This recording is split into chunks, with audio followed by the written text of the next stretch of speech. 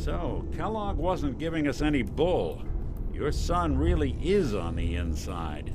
Even I don't know where the Institute is, and they built me. There has to be a way, Nick. We're in the weeds here. Time to take a step back, bring in some fresh eyes. Only person I know willing to snoop up the Institute's tail feathers is Piper, the reporter in Diamond City. I say we head her way, talk this through. How could Piper help us? Trust me, that dame knows a lot more than she lets on. And she lets on a lot. If I know her, she's done her homework. And we need to talk. Diamond City it is. Hey, chin up.